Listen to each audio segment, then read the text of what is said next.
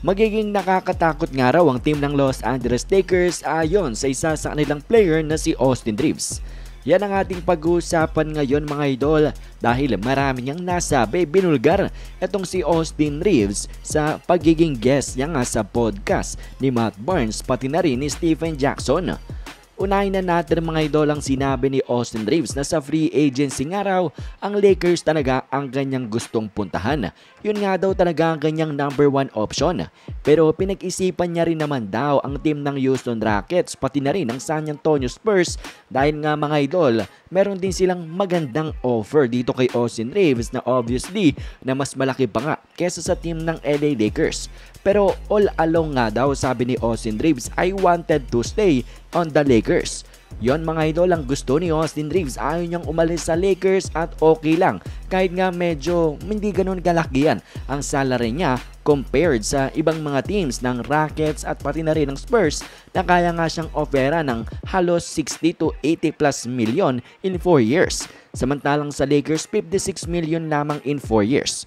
So dito ay pinakita nga ni Austin Reeves ang kanyang loyalty sa team ng Los Angeles Lakers and then ni-reveal niya rin mga idol dahil din pinanood niya kasi itong si Kobe Bryant at fan nga siya ng team ng LA Lakers simula nung bata siya.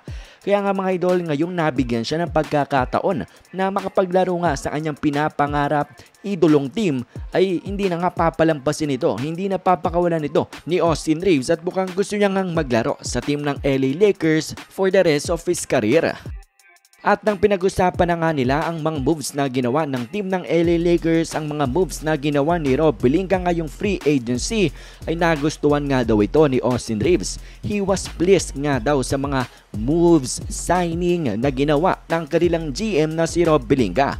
At sinabi nga ni Austin Reeves na yung pagbe-bring back nga daw ng kanilang whole core na pumunta sa Western Conference Finals tapos dinagdagan pa nga daw ng players na kagaya nila Gabe Vincent na kakarating lang daw sa NBA Finals na isang super competitor nga daw. Kaya naman sa tingin ni Austin Reeves na ang team ng LA Lakers ay naging better compared sa last season. Kaya naman daw super happy na na bumalik. Kumbaga excited na itong si Austin Reeves na bumalik nga sa pag-ensayo, getting back to work kasama ang team ng Los Angeles Lakers at ang kanilang mga bagong teammates.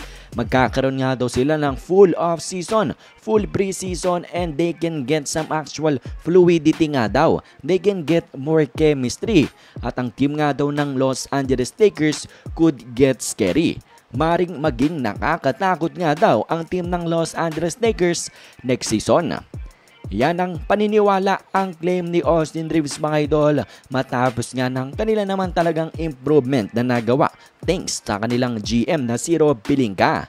And for sure nga yan, kagaya ni Reeves ay excited na rin ang maraming Lakers fans na magumpisa na ang season matapos nga nilang makita ang galaw ni Rob Pelinka ngayong off-season hindi naman natin mapagkakaila talaga na nag-improve ang team ng Los Angeles Lakers kaya naman mga idol excited na si Reeves sa maaaring maging potensyal ng team na ito. Pero kung kayo nga mga idol ang tatanungin, sumasang-ayon ba kayo dito kay Austin Reeves ng team nga daw ng Los Angeles Lakers ay maaaring maging scary for next year? Komento nyo lamang ang inyong mga opinyon.